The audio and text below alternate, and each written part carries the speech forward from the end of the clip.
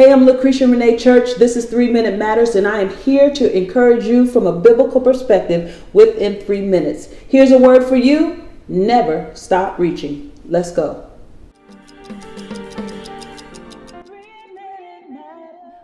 To tell you that in this season of your life, you're going to have to reach, to stretch yourself. To reach is to extend or to stretch out, it's to elongate yourself in order to grab something. Now, I know that you're already doing a lot and you may feel that you're too exhausted and you can't muster up the strength to do anything else, not one other thing. But let me tell you something. Please hear me. You are going to have to stretch your faith. Your blessing is within your ability to reach. It's an arm's length away. You'll attain it as you lift your hands and you praise God in the midst of unfavorable situations. You'll grab a hold of it when you give yourself past what's normal. When you fast in the time of feast in order to develop a deeper relationship with Jesus, I declare to you that your next breakthrough is in your reach. It's within your willingness to believe the ridiculous and obey the uncommon instruction of God without question.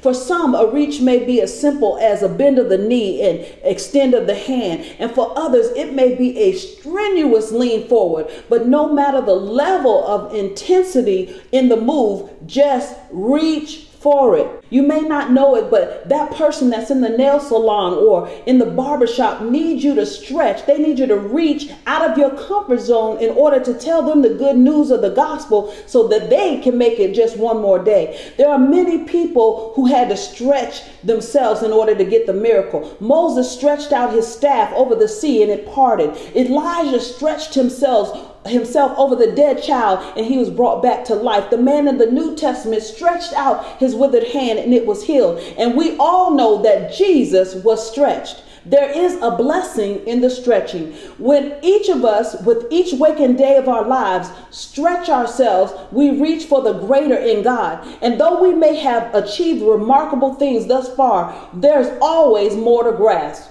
Don't let fear, doubt, weariness, or any of that hold you back. And remember that the Word of God tells us in Philippians 4 and 13, we can do all things through Christ who strengthens us. When we extend ourselves, He helps us. And when we expand ourselves, He empowers us. And when we stretch ourselves, He provides strength. Go ahead, reach.